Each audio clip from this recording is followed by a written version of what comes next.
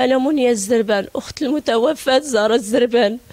كنت تخدم عند عند شي ناس في سيدي عباد مراكش 30 سنة وتفاجئنا في ديك الليلة اتصلوا بينا داك السيد اللي خدام عنده وقال لنا راه بأن أختكم راه في الكلينيك بمراكش. وديك الليلة اتصلوا بينا وعيطوا لي ديك الساعة قالوا لنا راه دارت واحد العملية ديال ديال المصران والله ياخذ فيهم الحق. دخلت لي نهار 3 شهر 11 فيه 30 حسبي الله ونعم الوكيل فيهم الله ياخذ فيهم الحق. ودازت يومين على العملية قالوا لنا خاصكم تخرجوها. خاصكم تخرجوها. فاش خرجنا السيدة كي خرجناها جا نزيف ديال الدم. عاودنا رديناها للكلينيك.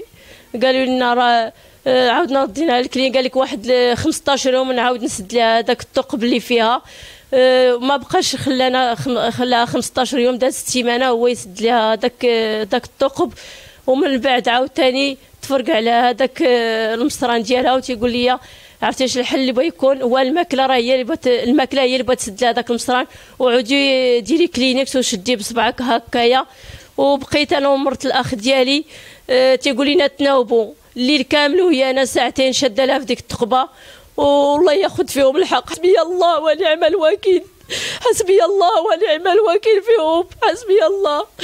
يقول لي ديري صبعك في الثقب تقول لها دكتور كيف نبقاو حنا ساعتين؟ والله إلا كطيح لي يدي تتعيا لي يدي كتعيا لي يدي بالشده رغم كاع داك الشيء تنتناوب أنا وبنت خويا. أنا أنا ومرت خويا عليها. ورغم هكاك بقات بقات مسكينة هكاك. ديما تنقول لها عافاك دكتور واش ممكن تسد لها هذاك الثقب تيقول لي لا ما يمكنش بالماكلة عادي تسد.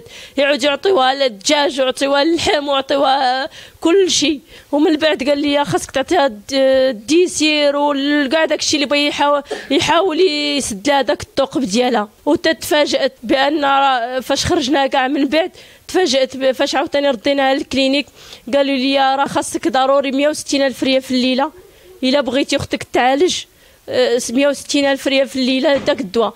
وجا عندي الدكتور قالوا لي شوفي راه أنا المدير ديال civil راه ممكن أنا داك الدواء اللي بغيت نعطيها في ال clinique هنا ب 160 ألف ريال في الليلة راه في civil غادي تاخذوا غادي تاخذوا فابور.